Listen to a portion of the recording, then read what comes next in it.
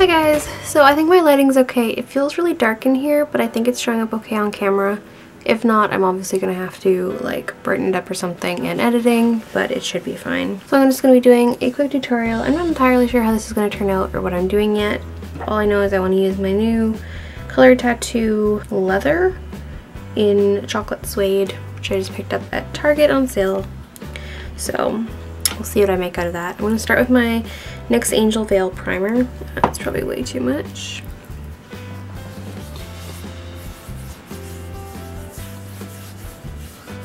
I could technically turn my like filming lights on, but the light's just a better color when I don't use the like artificial light. So hopefully this works out. Also, I'm sorry if I'm really quiet. I kind of have a bit of a headache, so I'm talking kind of quiet or funny, that's why. Anyway, next I'm going to move on to my e.l.f. Acne Fighting Foundation. I've been really loving this foundation, but if you have dry skin, um, probably don't. Though if you have dry skin, I'm guessing you probably don't have acne prone skin, so this probably wouldn't interest you anyway. But sometimes my skin likes to do both, so what do I know? I was using my Real Techniques buffing brush as usual. I love the smell of this foundation. I think it's because it has like, um, I think witch hazel and camphor and aloe and tea tree and stuff in it. But it smells really nice really, really soft. It's not like a harsh scent. If so, if you don't like scented stuff, I don't think it would bug you.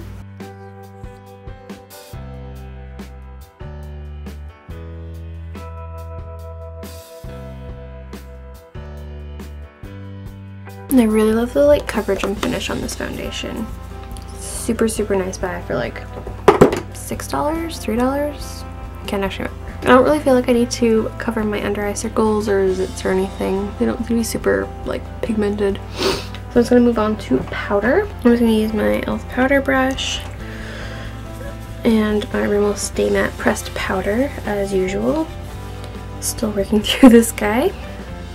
I'm just to set my whole face. I guess this isn't really a tutorial, so more like a chatty get ready with me thing. I don't know. Tell me what kind of makeup videos you prefer. Like, do you prefer when I just do my makeup and don't talk through it? Or is it more interesting when I like talk? I don't know. I'm in a weird mood because of my headache, so. Also, if you have not entered my um, contest on my blog, you should definitely go and enter. It's for the Aveeno's Fresh Essentials line. It's like um, like a scrub cleanser and a daytime SPF moisturizer and also a nighttime moisturizer. And they are really nice and that contest is open to Canadians until um, March 14th I think I said it too. So you just have to go to my blog, I'll link it down below and um, yeah, you can enter that there. So I think to use to do my brows, I'm going to use my e.l.f. eyebrow kit in light. So I'm just going in with the gel portion first on my EXO Beauty eyebrow brush.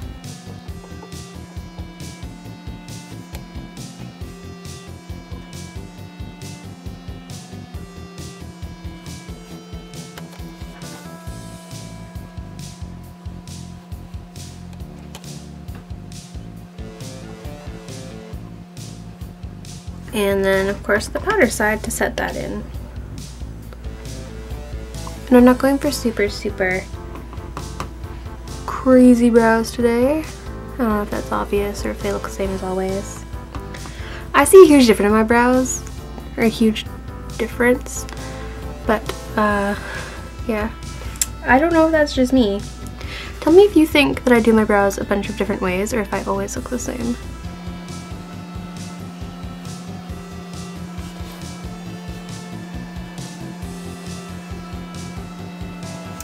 As good as those are getting today. And I'll start with my Maybelline Brow Drama in the soft brown. I don't know if you can tell on camera since I don't really get too close while I'm doing my brows, but I kind of messed up the wand on this. If you can see. Um, yeah. I wanted to cut the ball end off, so I kind of just mangled it because like an idiot I decided to use scissors and on a metal like brush that's not gonna cut so yeah i to get like wire cutters or something if I want to fix it ironically I feel like the mangled wand is a lot easier to use Alright, now I'm going to use my Real Techniques contour brush and my Too Faced Chocolate Soleil Bronzer. I'm just going to contour a little.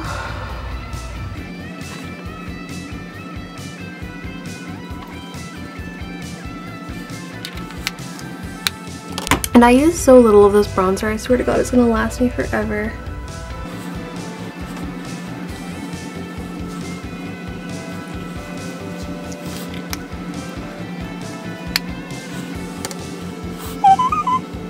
Alright, I'm gonna turn some lights on because I think it's ridiculous dark in here. Alright, so there's that. I don't know how different this is really gonna look for you until I get to editing, but for me, I can see colors on my face, so that's, you know, a nice change. I think I'll do eyes before I do blush. So I'm going to use the Color Tattoo Leather in Chocolate Suede, as I said. I'm just going to use my finger to apply this one. I'm going to apply it to the whole eyelid, even though it's quite dark. When I swatched it on my hand, it sheared out quite easily, so...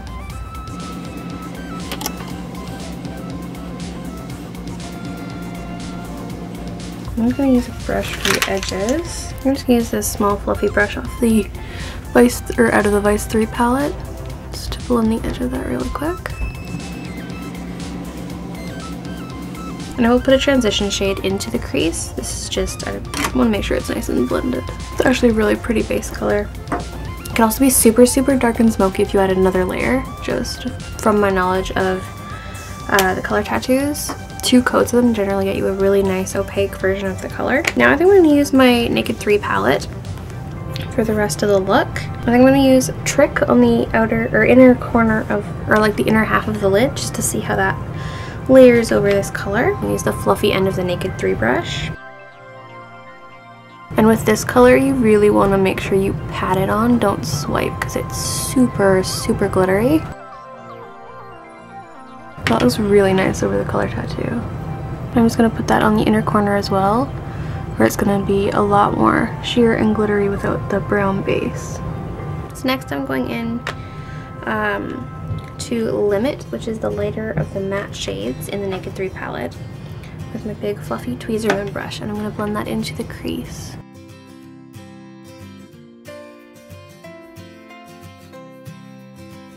Small fluffy blender brush, the e.l.f. contour brush, I'm going to take some Blackheart and put it just in the outer, like, V area.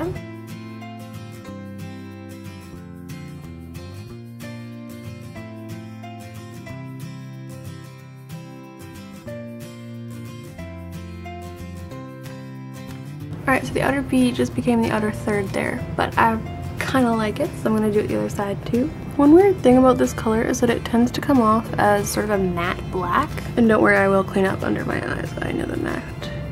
I know that black has gone crazy.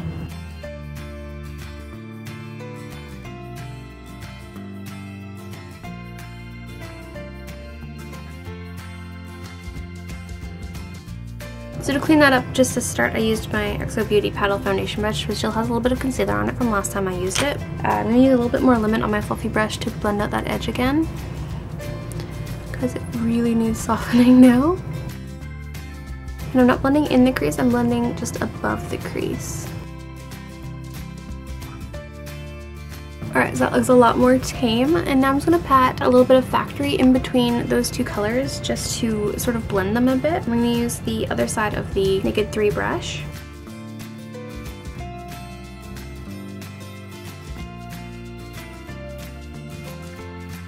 And use the fluffy side just to blend that.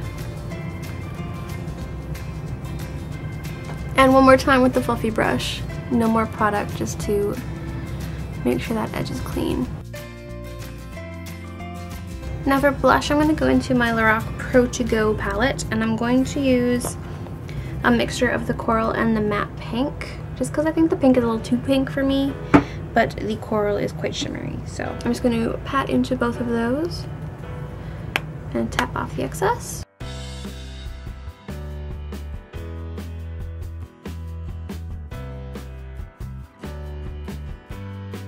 Those blushes are super pigmented, so do be careful with them. Now I think I will skip the eyeliner and just move on to mascara, and I'm going to use my Maybelline Lash Sensational Waterproof Mascara.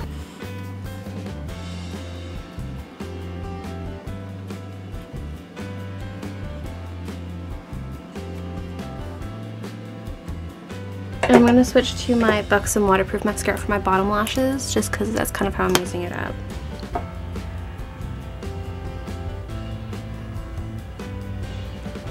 Some reason it doesn't seem to flake as badly on my bottom lashes.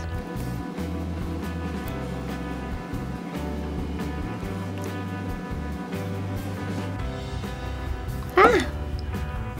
Okay, the last like five times I've done my makeup I've got mascara on my nose. It's getting ridiculous. And then for lipstick I'm just to use my Revlon, ugh, Revlon Super Lustrous Lipstick in Black Cherry.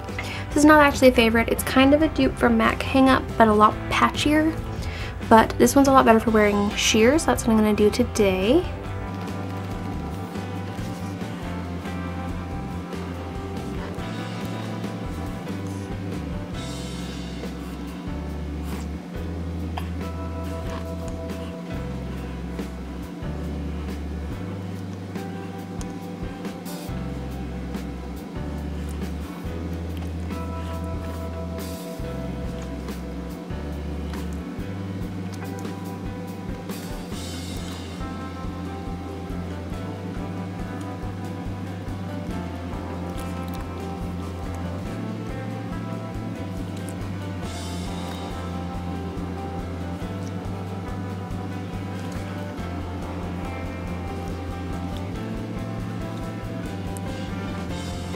So I just blotted off a little bit of that with some papers because that's what I have laying around.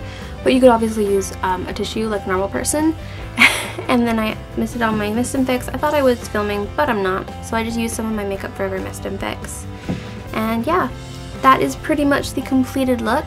I hope that you enjoyed it or found some inspiration in it maybe. And yeah, don't forget to like and subscribe if you want to, and I will see you in my next video. Bye!